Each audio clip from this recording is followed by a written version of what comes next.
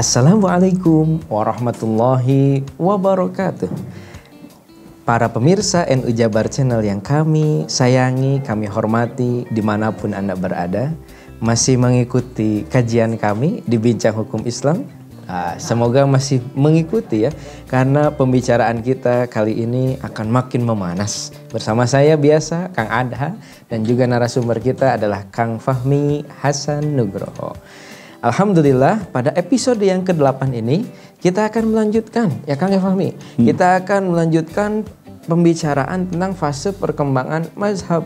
Bila di episode 7 kemarin ada yang belum mengikuti, kita membicarakan tentang fase perkembangan mazhab di mazhab Imam Abu Hanifah dan di mazhab Imam Malik.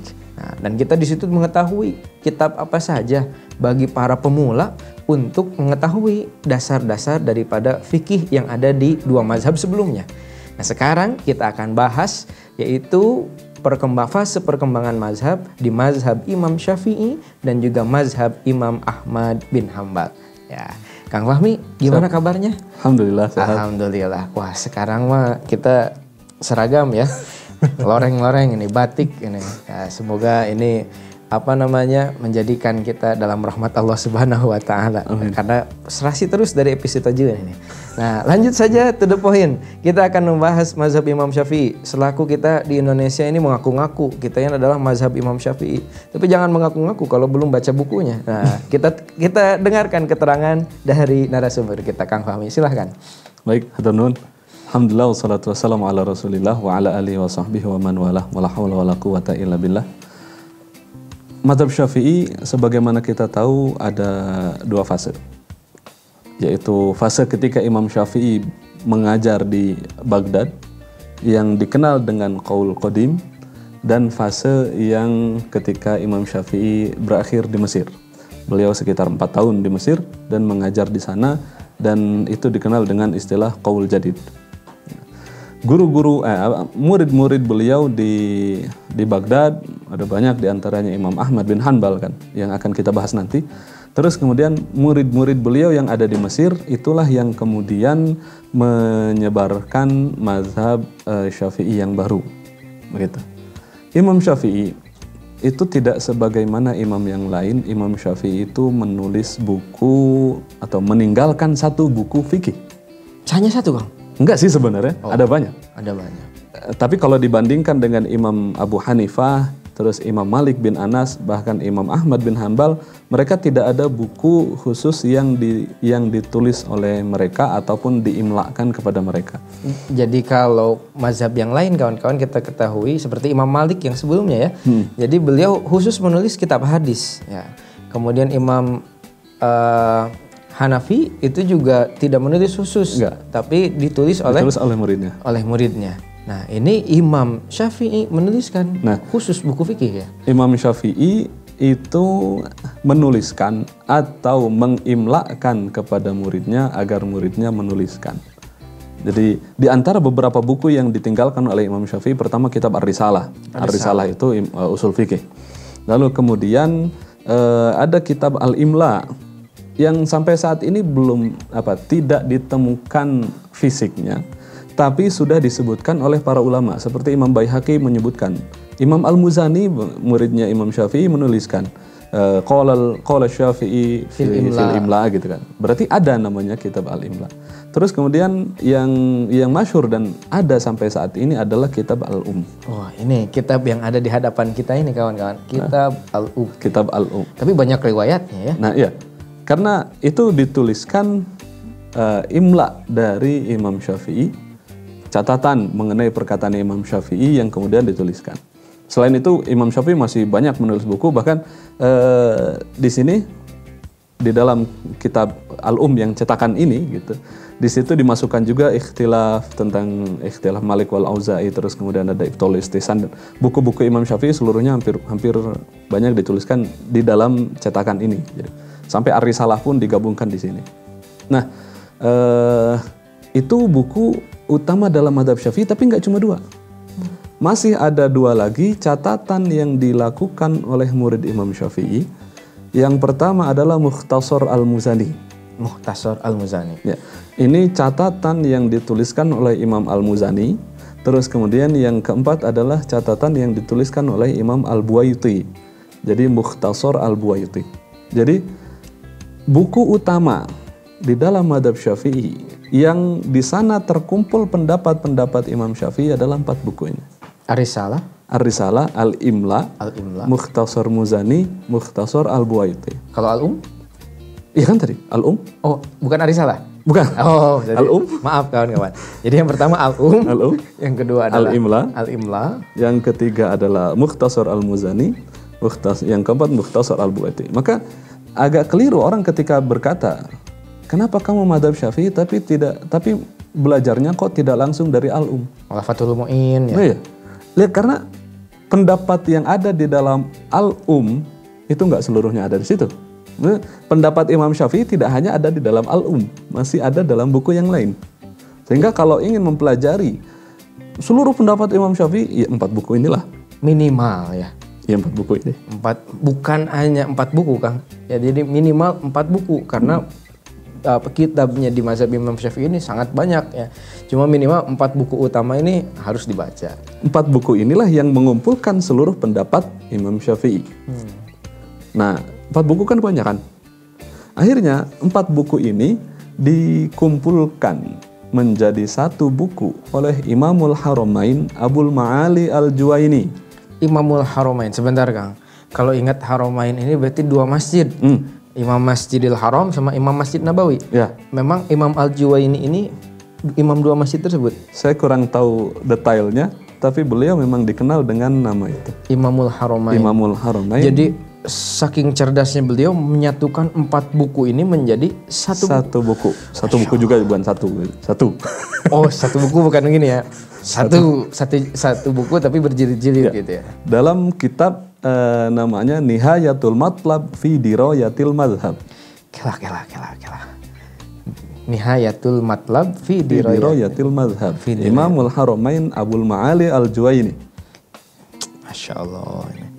Ada di ikhtisar lagi nggak ini? Oh iya. Uh, ternyata di ikhtisar lagi kawan-kawan. Wah ini keren. Itu kebanyakan ketebelan. Terus Imam Abul Ma'ali eh, Al-Juwaini Mempunyai murid. beliau punya murid. Murid utamanya adalah Imam Abu Abu Hamid Muhammad bin Muhammad bin Muhammad Al-Ghazali. yang kita kenal dengan Imam Al Ghazali ya dengan karyanya banyaknya tentang falsafat ya tentang filsafat kehidupan kemudian Iya dari dari falsafah, dari tasawuf, usul tasawuf fikih, ya usul fikih Ya, fikih. ya. Ya, tapi lebih terkenalnya kalau di Indonesia ini Imam Al Ghazali ini lebih kepada tasawuf. tasawufnya ya lebih kepada tasawuf Padahal beliau usuli, beliau fatih. Beliau adalah usuli seorang ahli usul fikih dan kemudian ahli fikih juga. Cuma terkenalnya di Indonesia kita ini. Padahal beliau bermazhab syafi'i. Oh iya, uh disebut usuli karena beliau menulis kitab Al-Mustasfa. Yang mana Al-Mustasfa ini menjadi kalau kata eh, Imam Ibnu Khaldun Al-Mustasfa karya Imam Al-Ghazali ini termasuk ke dalam empat tiangnya usul fikih. di tiangnya usul fikih kalau empat itu apa kang? Eh, yang pertama itu yang dituliskan oleh gurunya Al-Burhan fi Usulul Fiqh. Yang kedua yang dituliskan oleh beliau eh, Al-Mustasfa. Al-Mustasfa. Terus kemudian yang dua lagi saya lupa. Tapi dituliskan oleh eh, Mu'tazilah dua ini. Oh, makanya lupa ya. Ini, iya. Ini kalau bicara tentang Mu'tazilah bukan fikih, bukan bincang hukum Islam, tapi bincang akidah Islam. Nanti kita bikin ya Tapi, tapi ada itu usul fikihnya atau bisa jadi nanti membahas usul fikih secara khusus jadi jadi tema khusus nanti bisa. Nah, eh, kembali lagi Imam Al-Ghazali selain tadi usuli, beliau fakih kitab Nihayatul Matlab fi Dirayatil Madhab yang tebal itu.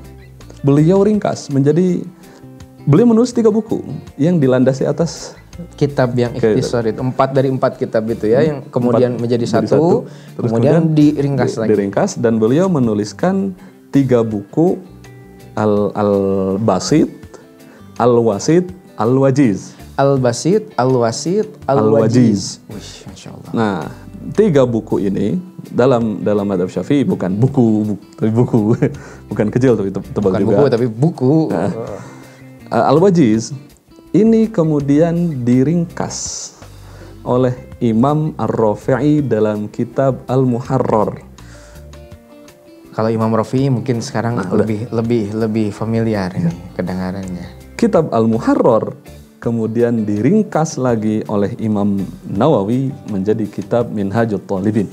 Yang sering kita baca ya, yang sering dijadikan rujukan dalam mazhab Syafi'i pada zaman sekarang adalah kitab Minhajut Talibin karyanya Imam An-Nawawi. Tapi Kang Imam An-Nawawi ini kita kan ada dua kita kenal ya.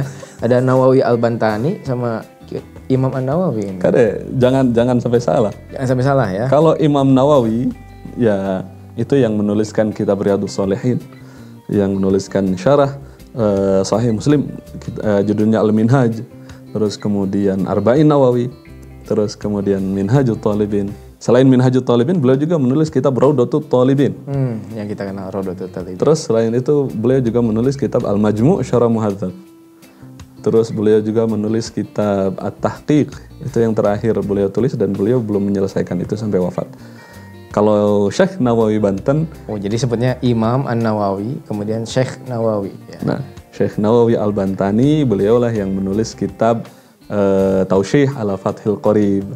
Terus kemudian eh, tafsir Mir, eh, apa? Mirah Labid gitu dan yang lain. Ya Allah, ya Robi. Kade, jangan jangan ketukar. Sangat luas sekali kawan-kawan ini tentang apa mazhab Syafi'i ini. To the point aja Kang.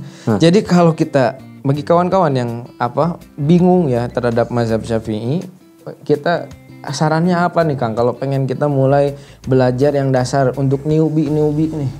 Oke, kalau tadi Minhajul Talibin ini adalah buku utama di dalam madhab syafi'i eh, yang nanti kalau misalkan mana yang muktamad dalam madhab syafi'i ini.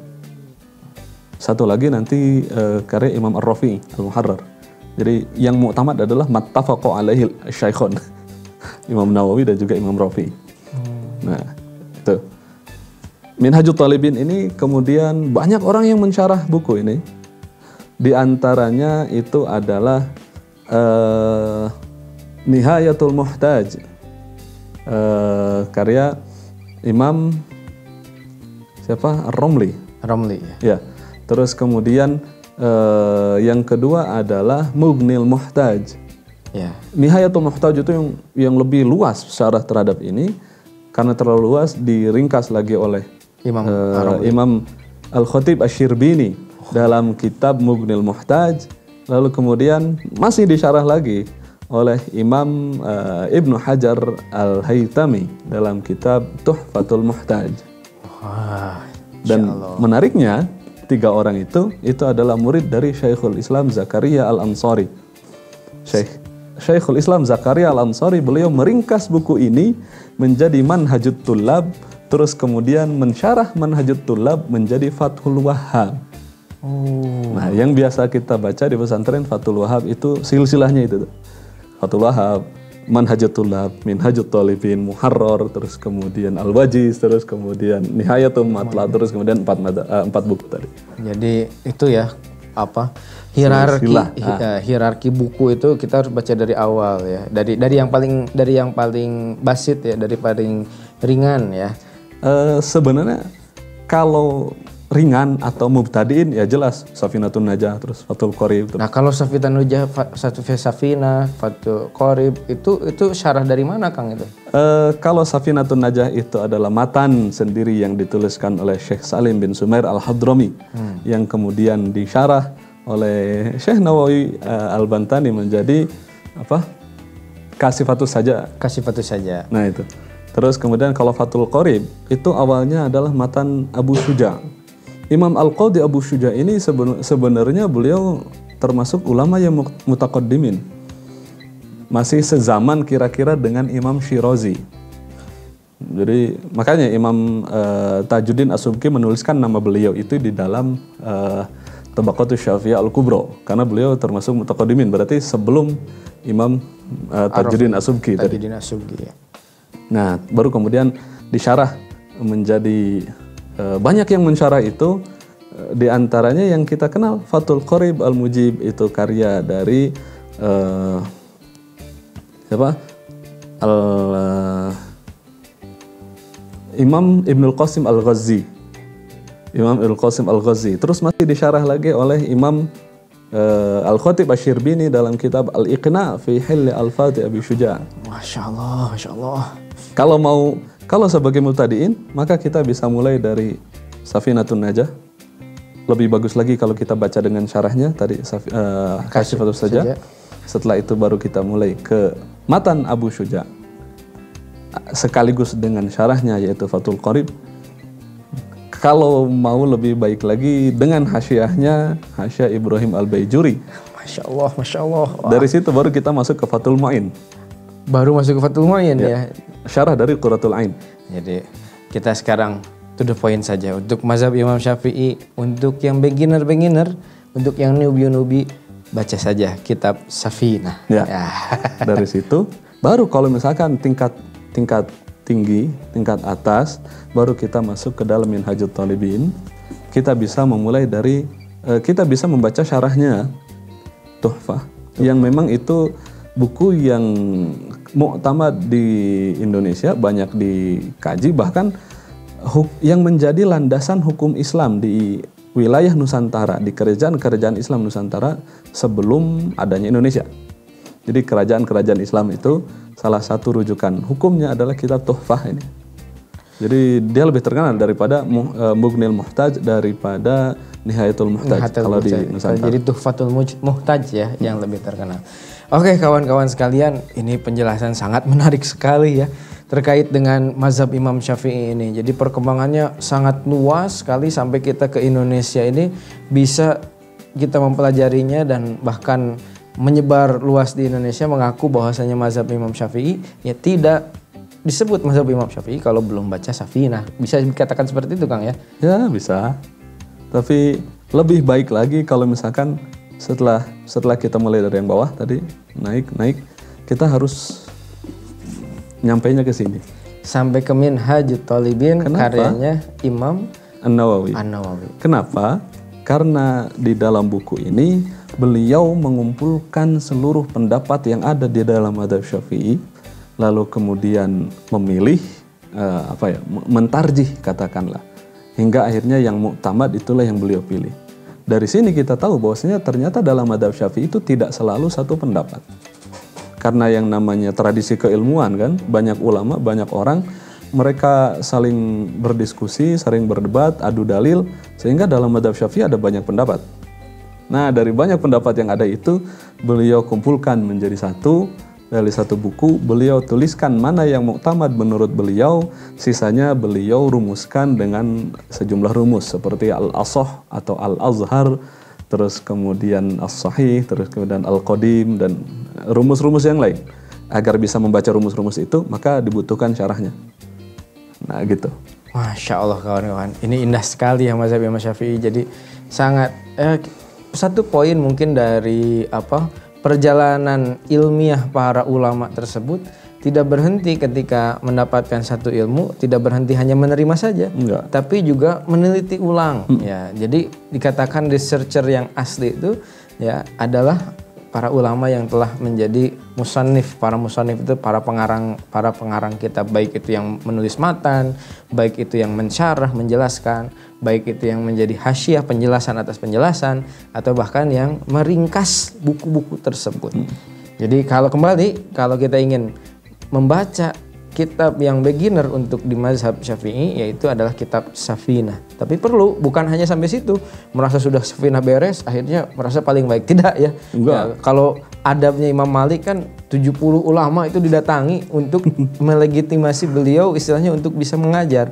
Nah, kalau sekarang ya Kang ya kita lihat baru misalnya belajar dari Google baru menemukan satu kaul, baru menemukan satu makalah, kadang-kadang oh saya sudah paling pintar ini. Ah ini yang harus kita turunkan ya. Akhlaknya dalam berilmu itu ya harus banyak terus menimba ilmu dan kemudian biarlah nanti bersinar sendiri.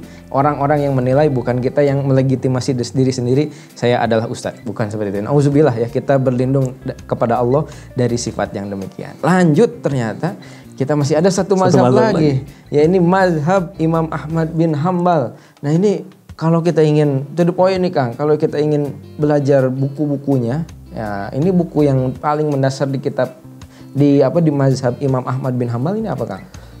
Kalau yang dicari adalah buku apa gitu. Kalau buku dasar saya tidak tidak terlalu banyak mengetahui mengenai silsilah sampai detail ke Safinah seperti tadi ya.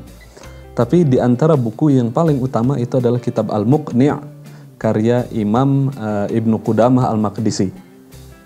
Nah, cuma sebelum sebelum masuk ke situ. Uh, Nah, kema- u- kita ulang dari atas Ulang ini. dari atas kita bangun pondasinya nih supaya kawan-kawan ada pengetahuan ini dari Imam Ahmad bin Hambal itu murid-muridnya menuliskan langsung atau seperti Imam Syafi'i beliau menulis kitab enggak? Imam Ahmad bin Hambal beliau kan tidak menulis buku fikih. Yang bel- yang peninggalan beliau yang bisa kita dapatkan sampai saat ini adalah pertama musnad.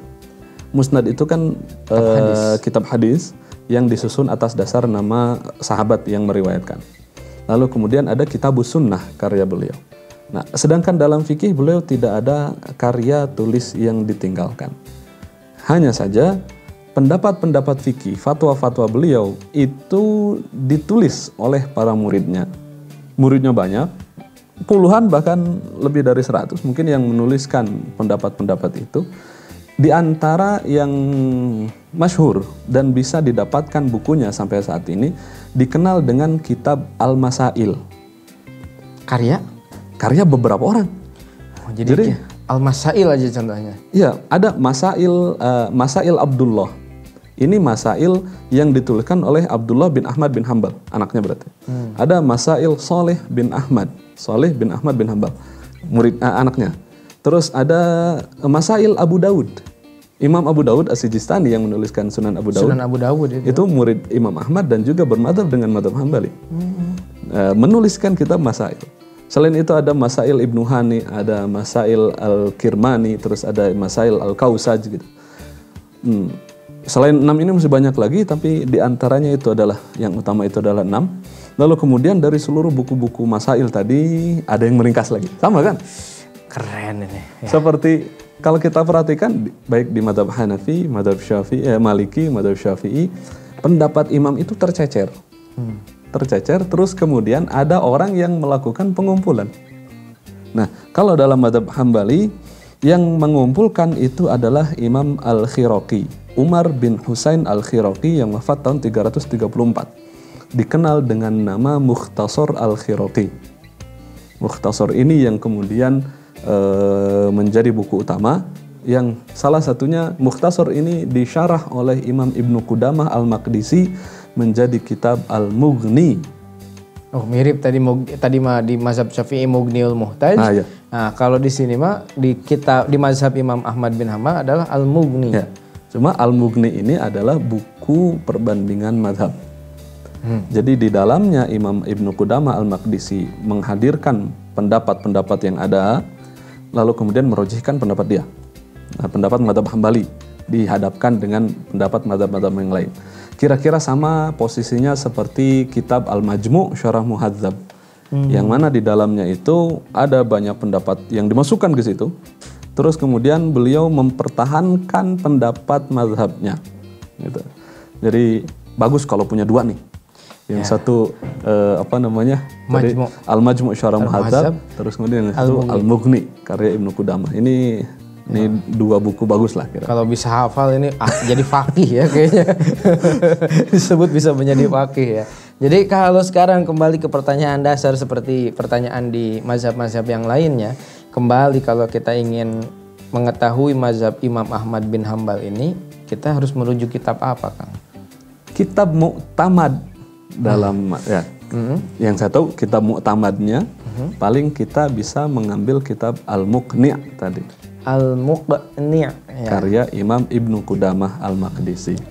Meskipun selanjutnya itu masih ada lagi yang yang mensyarah kitab itu seperti Imam Abdus Salam Ibnu Taimiyah. Abdus Salam Ibnu Taimiyah ini kakek dari Imam Ahmad bin Abdul Halim Ibnu Taimiyah. Ibnu Ta- yang kita kenal dengan Imam Ya, Ibn Taimiyah. Syekhul Islam Ibnu Taimiyah. Jadi menariknya itu kakek, bapak, anak itu tiga orang ulama besar.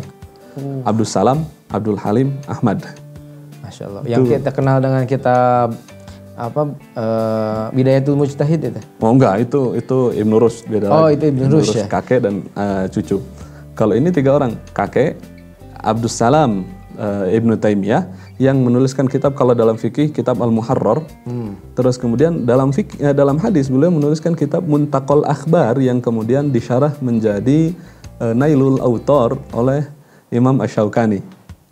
Atau mungkin kenal. Ya, Tuh. kalau Nailul Autor itu di Itu kan mana-mana terkenal. sering dibaca kan. Sering dibaca. Nah itu itu adalah syarah dari Muntakol Akhbar karya kakeknya Syekhul Islam Ibnu Taimiyah. Hmm. Terus beliau punya ya anaknya itu adalah Abdul Halim Ibnu Taimiyah.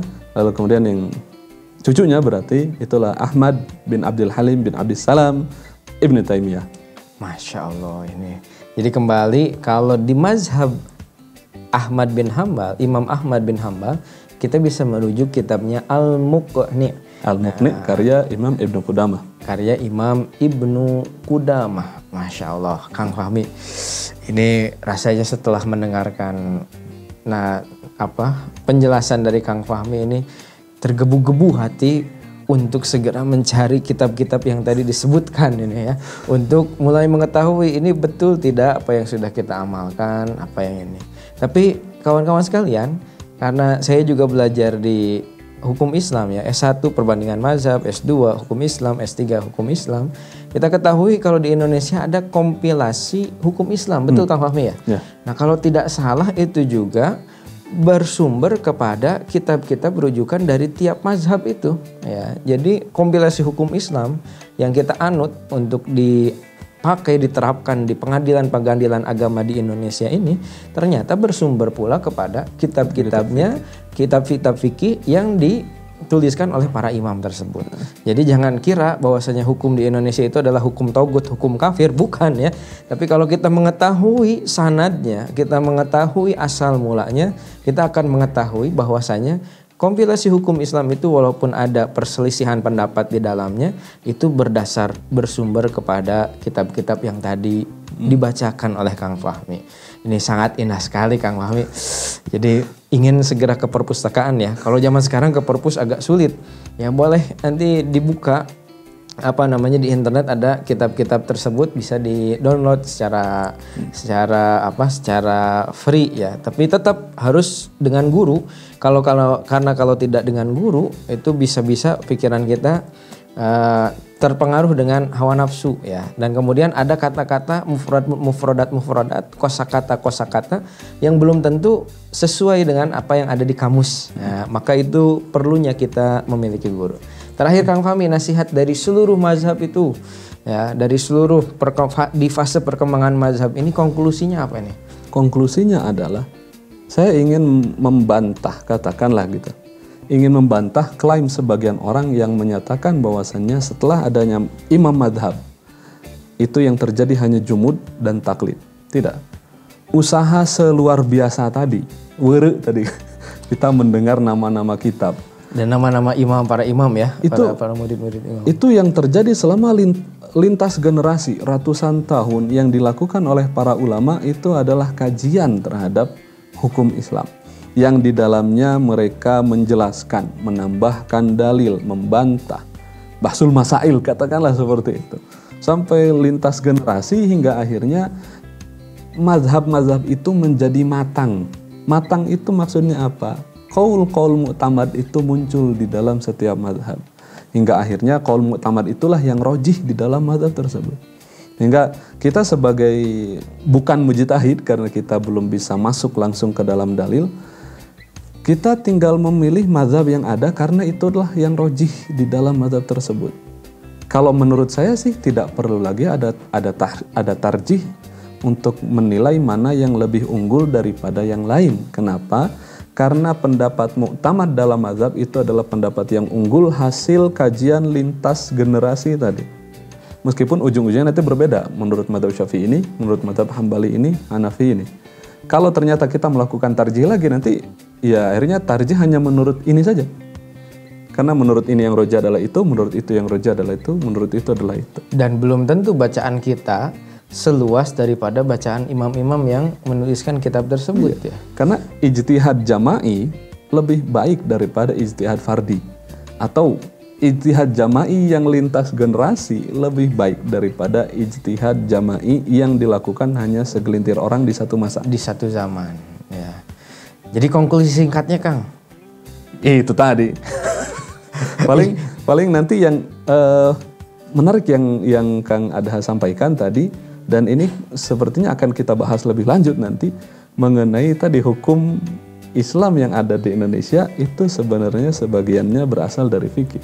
Oh iya betul itu. Kita penasaran juga ini tentang hukum Islam yang ada di Indonesia ini sebenarnya merujuk ke mana sih? Hmm. Ya nanti kita mungkin akan bahas terkait dengan hal itu. Tapi Kang sebelum kita masuk ke Indonesia nih agak jauh, hmm. kembali lagi ke pertanyaan dasar di episode hmm. pertama. Kita ini bagaimana sih apa eh, keharusan kita bermazhab?